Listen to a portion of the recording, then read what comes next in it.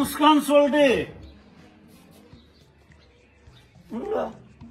घरमा बस्दा बस्दा ल्याङ भएर सगुन हान्नु पर्यो कि भनेर आएको कि? क भन्यो भरे? सगुन हान्ने रे। अहिले तँलाई नै म प्राङ्ग हानिदिन्छु अनि यस्तो बेलामा आएर टक्रकसँगले यसरी हात मिलाउन खोज्दो रहेछ। दुई मिटर पर बस पर बस। ढोकै फुटाउन लाग्यो कि क्या हो? के गरे आयो?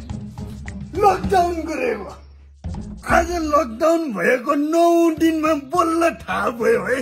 घरको ढोकाको लक त माथि रहेछ।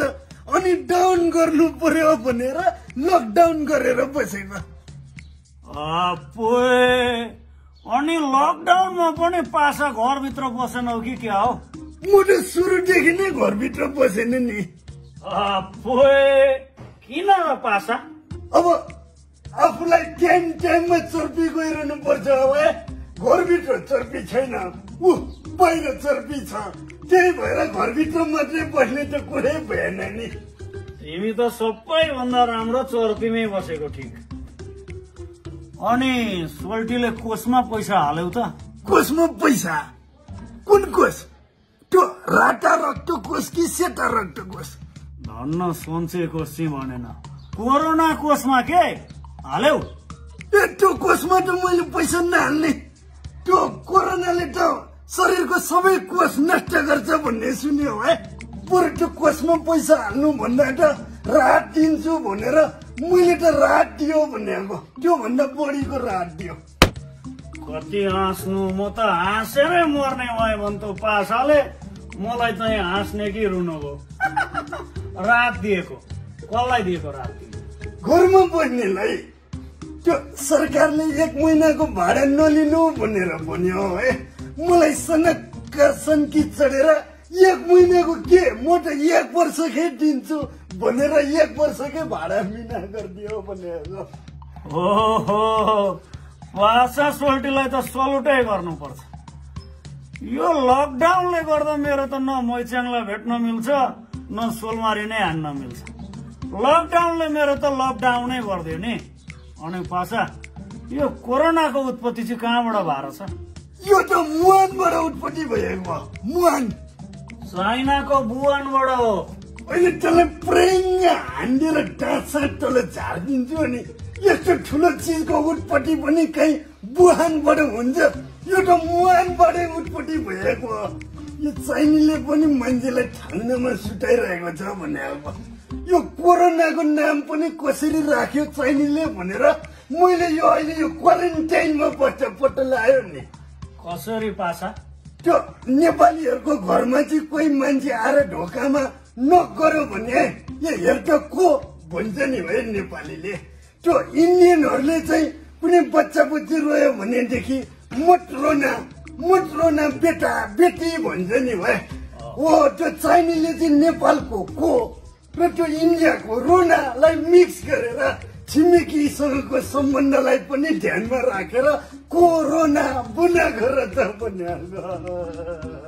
कति हाने मैले माने पासा तिमीलाई। यो फेसबुकमा र टोल टोलमा चाहिँ कोरोना विधहरू भेटिन थाले भनेर सुनेको थिएँ।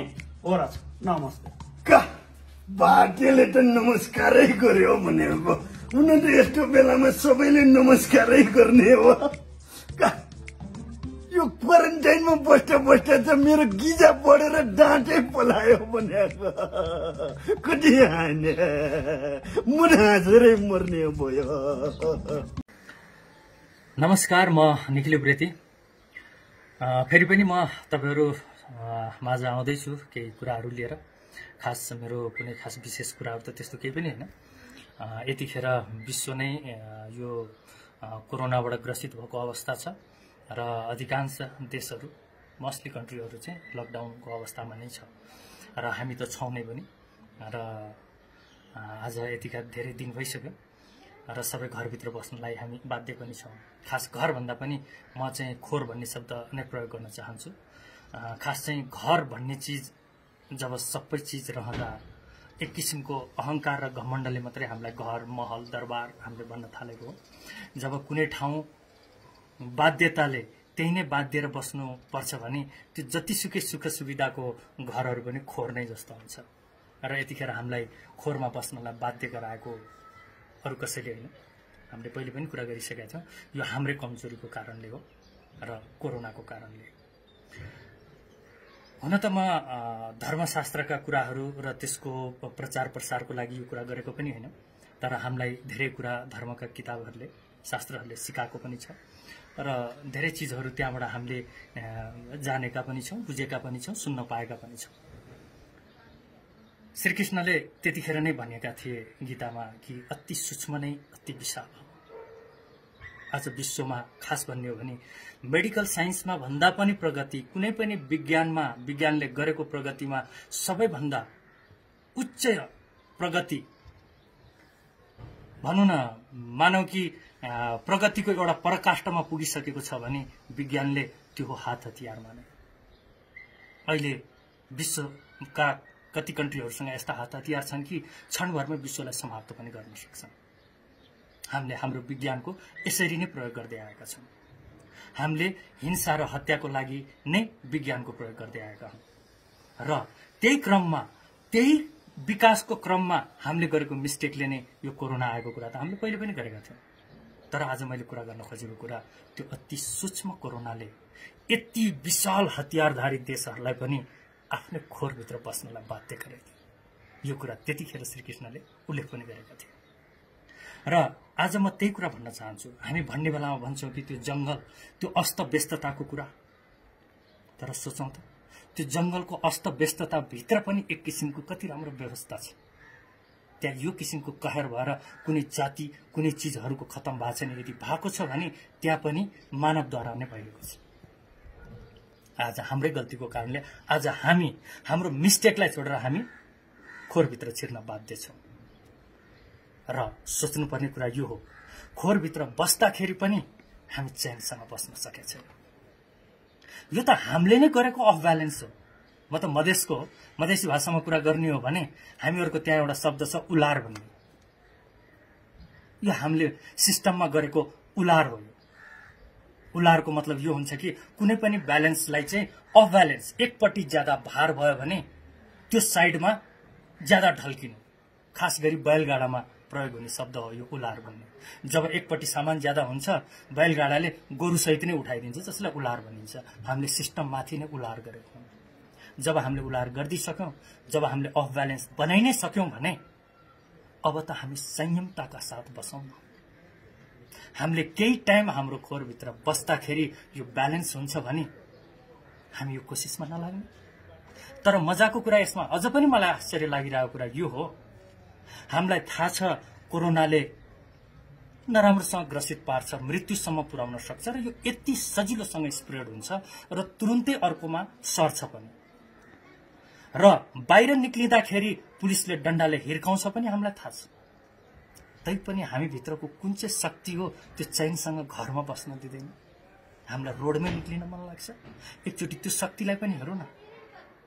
शक्ति एउटै किसिमको हो। चाहे विनाशमा लिएर जाओस् चाहे विकासमा लिएर जाओस्। हामी भित्रको त्यो शक्ति कोरोनाको मृत्युको डर फ्यामिलीलाई सर्छ भन्ने डरबाट डरलाई पनि मतलब नगरिकन मृत्युलाई पनि मतलब नगरिकन पुलिसको कुटाइलाई पनि मतलब नगरिकन हामी रोडमा निक्लिने साहस गर्छौँ। त्यो साहस हामीले जीवनमा अरू सेक्टरमा किन निकाल्न सकेन? साहस सायद त्यही साहस हामीले अरू चिजमा पनि प्रयोग गर्न सकेको भए सायद हाम्रो जीवनको अर्को पाटो पनि सुरु हुन्थ्यो। केही दिन हामी चैनसँग बस्न सक्दैनौँ। किनभने फर्केर हामीले स्वयंलाई हेर्न सक्दैनौँ। हामी मिस्टेकमाथि मिस्टेकै गर्न चाहन्छौँ। हामीलाई लाग्छ कि सबै चिज व्यवस्थित भयो भने फेरि के गर्ने? फेरि के लेख्ने के मजाक गर्ने के उडाउने केलाई इस्यु बनाउने? फेरि अर्को कुरा। हामी राजनैतिक चिजबाट यति ग्रसित छौँ। यो देशमा राजनैतिक स्वार्थको लागि धेरैचोटि नेपाल बन्द गरियो। धेरै नराम्रा कामहरू नेपाल बन्द कैयौँ दिनसम्म गरियो। तर यो नेपाल बन्द कुनै राजनैतिक स्वार्थको लागि होइन यो। कोरोनालाई थाहा छैन पाँच बजे पछाडि कर्फ्यू खुलेको जस्तो फेरि खुल्छ भन्ने कुरा। हामीभित्र त्यो राजनैतिक प्रभाव उनीहरूको स्वार्थले गरेको बन्दको कति गहिरो प्रभाव छ कि हामी पाँच बज्ने साथै फेरि सडकमा निक्लेर फेरि भिड गर्न थाल्छौँ। हामी यो सारा चिजबाट एकचोटि पर हौँ। हामीले गरेको अफ ब्यालेन्सलाई फेरि ब्यालेन्स गर्न थालौँ। हामी मात्र होइन कि अरूको सुरक्षाको लागि पनि हामी घरभित्रै बस्ने संयमता हामीले बढाउन खोजौँ। र आफूभित्र हेरौँ त्यो शक्तिलाई हेरौँ त्यो विद्रोह शक्ति जो हर चिज मृत्युसँग पनि डराएर सडकमा निक्लिन किन चाहिरहेछ त? केले हामीलाई चैनसँग बस्दाखेरि बेचैन भइरहेछ त? हामीलाई केही दिन आफ्नै स्वास्थ्य सबैको लागि सर्वहितको लागि हामीलाई बस्नु पर्दाखेरि यति बेचैन किन हुन्छौँ त? किन हामी मायुस हुन्छौँ एकचोटि हेरौँ न। हामी भित्रको त्यो शक्तिलाई हेरौँ न। सायद त्यतिखेर रियलाइज हुन्छ कि म भित्र कति अपार शक्ति रहेछ। सायद त्यो शक्ति राम्रो क्रममा पनि प्रयोग आउन सक्छ। त्यसैले हामी यो लकडाउनलाई लकडाउनलाई पूर्ण रूपमा पालना गरौँ र प्रकृतिको यो ब्यालेन्सलाई फेरि पनि ब्यालेन्समा ल्याउन सहयोग पुऱ्याउँ थ्याङ्क यू भेरी मच